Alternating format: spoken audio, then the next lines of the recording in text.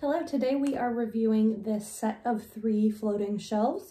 Um, they are various sizes. I'm gonna install them on this wall for you in my extra bedroom, and then I'll style it for you as well. We are gonna take a look inside the box.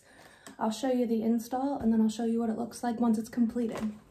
Here are what the shelves look like outside of the box. As you can see, they are all different sizes, so it'll look really cool on the wall right here. Okay, so this is a look at one of the shelf pieces. This is what it'll look like on the wall. In order to install these, they have a metal backing that comes out of the back of the shelf. Looks like this.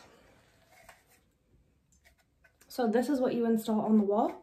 The shelf slides onto it, and then you secure it in the bottom with these screw holes. So I started by measuring the wall first, making sure my shelves were the even distance apart, then selecting the correct drill bit and drilling the holes for the wall anchors. Once the holes are drilled, you can screw in the metal brackets for the shelving themselves. Here I am getting those all squared away and onto the wall.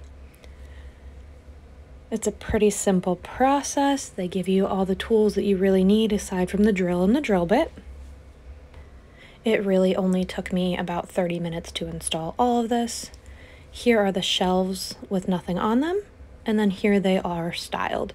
As you can see, they're the perfect floating shelf design. You don't see any hardware at all. 10 out of 10.